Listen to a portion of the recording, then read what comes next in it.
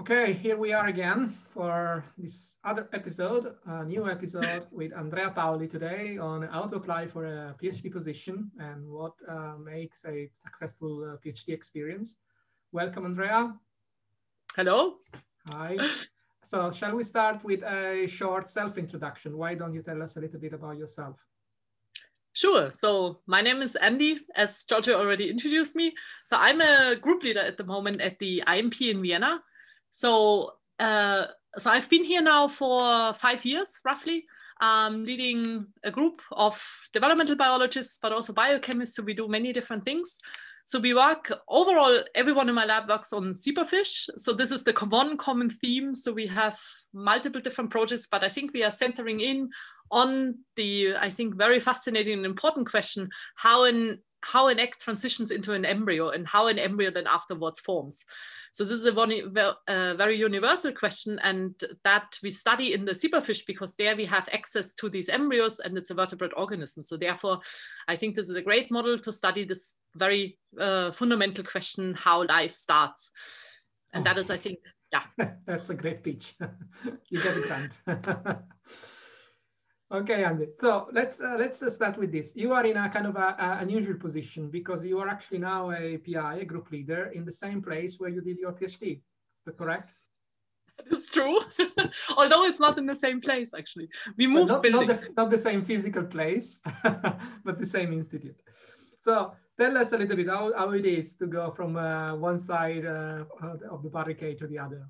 What is your experience? well, that's an interesting question that you ask because, in fact, I when I said now that we are not in exactly the same place, this is true now because the IMP got a new building, I think three years ago, where we literally moved into a new building. But before, when I came back, for starting my lab five years ago, um, I literally got the same lab where I did my PhD. So that was the one lab that was empty. So I did my PhD in Kim Nasmyth's lab at the IMP, and that lab happened to be empty. So I was basically assigned into this lab, and I took the bench that I had as a PhD student when I started my own lab as a group leader.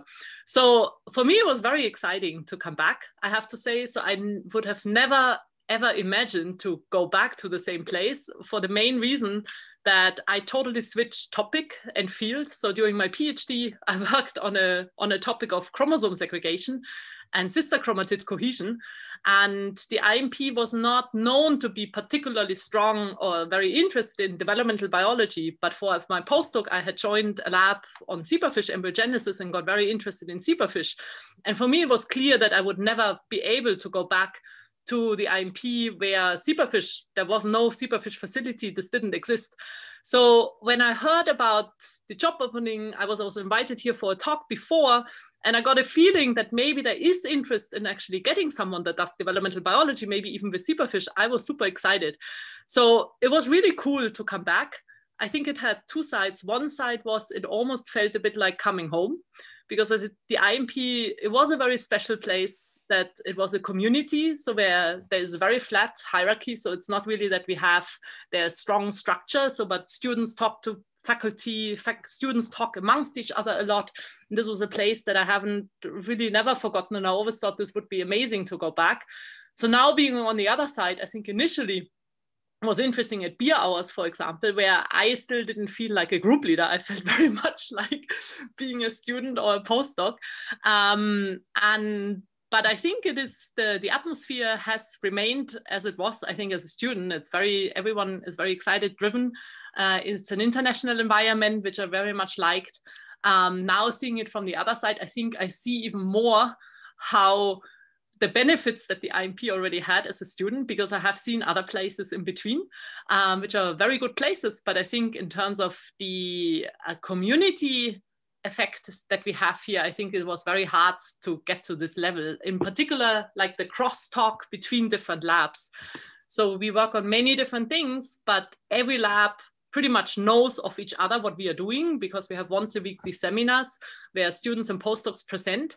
And that makes it very open that even students, postdocs can approach another lab. They know what's going on in another lab, in, in another lab, and we can collaborate directly with people from totally different fields. And this, in the other places where I have been, this has not been like this. So there you worked in your lab, you were very focused on your science, you knew a lot about this, but you didn't really know that much about, for me, for example, neurobiology or organoids or stem cells or biochemistry, cryo-EM. So I think here we are exposed pretty much on a daily basis to all these different topics. And this is something that I very much enjoy. And this is has stayed the same. And this is why I think it's really a fantastic environment to start your lab. Right. And to be totally, totally agree. So one one place that one one thing that is uh, special about this place is that, as you say, that there is a lot of interdisciplinarity and interaction, and students are exposed to a number of uh, research and papers and, and so on. Um, how does it translate in real life? Do you think the students do really uh, interact with their peers? Do, do really uh, um, collaborate? Because this is something that you know we often say it's nice, there is a chance, but does it really happen in a place like that? I think it happens, um, but it it can be somewhat um, encouraged by us group leaders or by the environment, but in the end, it has to happen bottom up. So it has to be really the students and postdocs that would want it. Because if I, as a group leader, I would say, you should now talk to the other person because they do this, I can say this, but, and I can initiate it. And I think it is very much we as group leaders, I think, initiate sometimes these conversations but then it's really up to the students to continue or the postdocs to continue these uh, and follow up uh, with their own ideas. And I can only say from my own experience, we have, in some cases, it works extremely well so that students want to continue and they help each other across labs. There it doesn't matter whether you come from a different institute, even here, but it's on our campus. And they are very active there. And then we are very much hands off there as PIs. In other cases, you tried something and then it didn't work out. So I think I wouldn't say that it always works out this uh, communi communi communication in terms of uh, or also collaboration as effort. But we have many projects now, not only me in my lab, but also other labs where I see that where there sometimes are even joint students or joint uh, postdocs that are literally supervised and that have a project that requires the expertise from two labs and then you're really having two supervisors and that i think on a place like this where we have core funding so meaning everything is in principle shared. So it's not that something belongs to one lab and then it's yours and the other thing is the other's lab. So here i think it's much easier for us to, to really live this collaborative effort than in many other places. So it's maybe a bit an unfair comparison because for us with the core funding this makes it very easy because we have shared microscopy our fish facility is open in principle to everyone.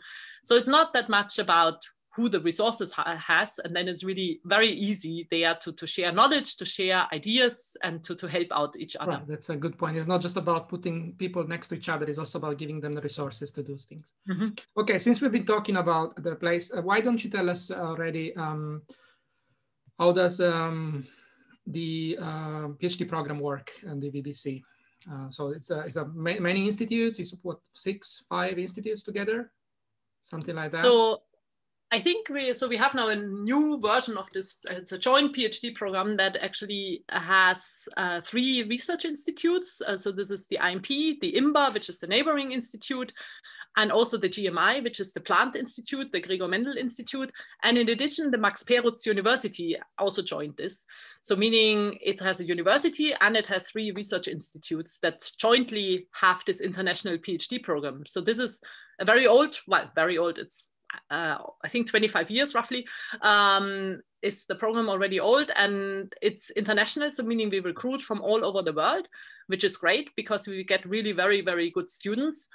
And the requirement is normally that you have a master thesis already before or a master, but in some cases and exceptions, we also um, accept if someone applies with a bachelor, it depends a bit on your country where you come from. And then it's an application that is an online application. And then every every application will be seen by four group leaders and, and scored. And then based on that, we make a short list of people that we invite for, for interviews. And then for interviews, if it's non-COVID time, then we invite people on site. So they are invited here for four days, I think, come to Vienna and see the place and where you have then the chance to, to interact with group leaders, but also first you would have a, um, where you present a paper and also where you present your former research that you have done, like as a master thesis research. And then if you pass this, then you basically interact with, with groups and, and PIs, and there you try to find a match. So this is always rather stressful for, for both sides, one has to say, not only for the students. So it's, it's fun, but it's also stressful because it's, it's really like speed dating, we often say, because you have two days roughly to find a match which sounds insane, but the crazy thing is that it really, in most cases, works. So during these two days, you basically try to figure out which lab you would want to join. And then when you come here, you immediately are fully embedded in this lab and you would immediately work in this lab. So we don't have a rotation system, which is different to many other places. Right. So speed dating is a good is a good metaphor. So what do what do you look for in a student in these uh, two days? What is it that uh, can what can they do to impress you? well, that's always a very good question. And I think it's very personal, of course. Some people would look for skills that the student would already have if someone has worked in the same topic. I personally don't look for the skills. I wouldn't say not at all, but I have not recruited a single student that had been working on Zebrafish before. So this for me, for example, is no requirement whatsoever because I myself have switched topics and switched fields um, many times. And for me, it was always kind of enriching. And I always think that the learning a model organism is really fast and easy because people in the lab will teach you, but it's really the interest that counts. So if you're interested and excited about that topic and willing to learn, that for me is the main thing. So for me, I don't I don't look for a specific background. So for me, it's someone that is motivated, that is interested in what we do, and ideally also um, uh, is highly motivated. So because that is something that I think is very hard to learn. So versus a technique or a model system, you can absolutely learn having this intrinsic drive, the motivation, the curiosity, that I think is very hard to learn. So that I'm looking for people that have this already and also, what is very important for me, I think, is that I get the feeling or the sense that you're a team player. Because for me, science is really not at all about one person doing an experiment or one person figuring something out, but I think it is a lot about being able to communicate with each other and fitting in my team. So I could have an excellent candidate, but if my lab would say this person doesn't fit into our team, um, I would not take the student, even though it would be hard, but I wouldn't, because I think it's super, super important to have there someone that fits in. So it's, and it might change over time that the lab changes as well and the, the atmosphere changes, but I think it is very important that someone fits in with the expertise, with the skills, with the interest, but I'm not looking for any specific set of skills. Right. So I'm glad you this uh, came up because I, I think uh, every single chat or interviews, we want to call them, that I had so far, more or less, uh, at the end we arrived to this point where skills are probably overestimated on the student side, right? So often the students say, oh, I will not apply this year to for PhD because I, I need to gain some lab skills.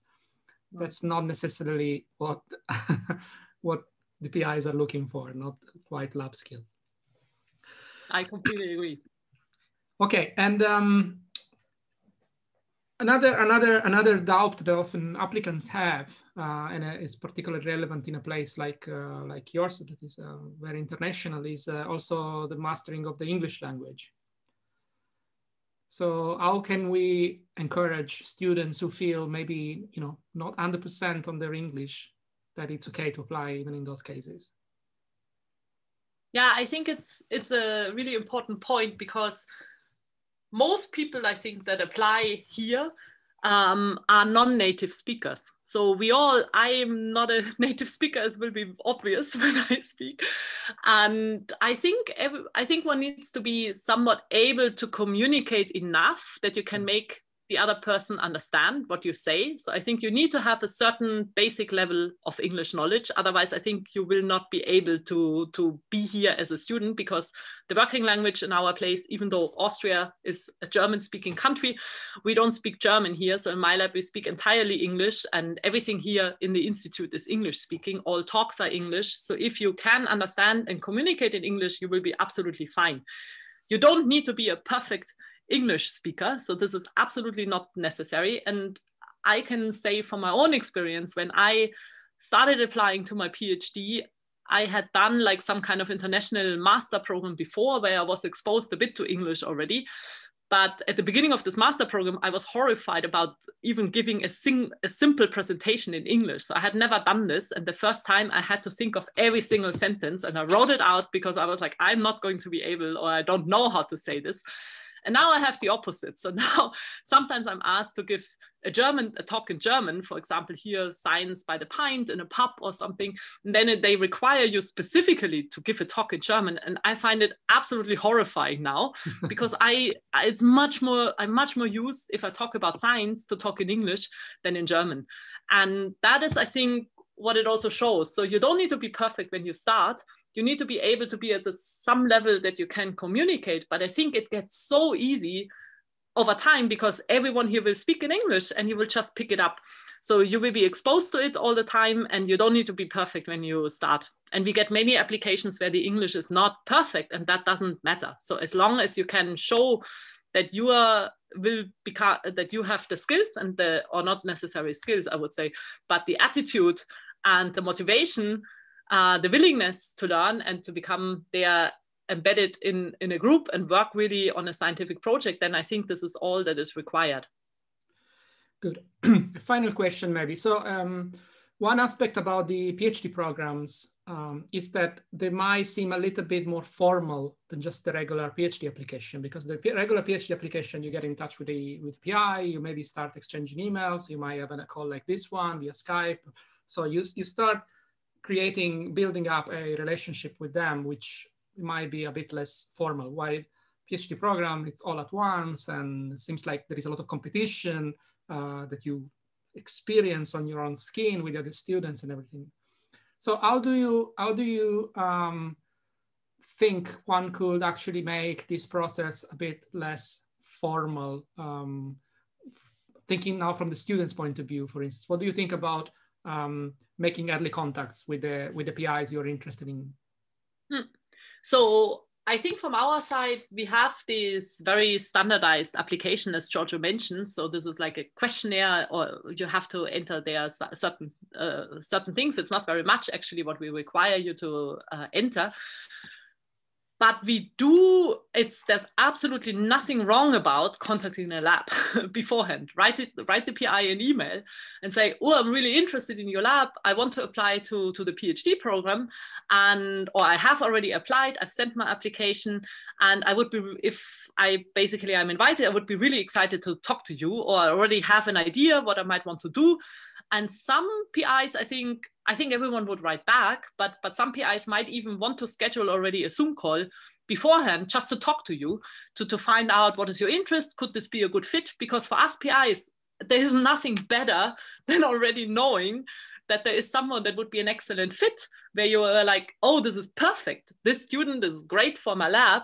and then there is uh, this was the best situation because then you basically avoid the stressful situation uh, in the speed dating and everything that you would not know you haven't yet talked to anyone versus otherwise you could have already in a very relaxed environment kind of maybe chatted with a pi or at least told them that you would be interested. Of course, there's no guarantee, there's no promise because we can't promise also from a PI side. So we are not allowed, we can't hire outside of the PhD program. So meaning you have to still go through the selection. So you would have to do the whole process. But if you have already with someone a very good relationship and you would know that this might be a very good match, then I think it's it makes it easier for you as well to go through the application. So I think there's nothing wrong about it in applying in in telling emailing a PI that you would be interested. Okay, so are you recruiting uh, PhD students for the next round? Uh, that's a good question. I haven't actually thought about it. So we just had a selection in December, but I didn't recruit there. So I might very well participate again in summer. Okay, good. Uh, I think you should be ready to receiving a quite a, a larger number of EU application probably because the, well, I hope so. the UK has been it's been deviated by okay and so thanks a lot that was really fun uh, and thank you a lot for your insights and yeah, I hopefully cool. it's going to be useful for people who want to apply your way towards Vienna. Hmm? I hope so, or to any anywhere else. I think and this is some general. yeah. okay, thanks a lot. And okay, bye. cool. Okay. Bye bye.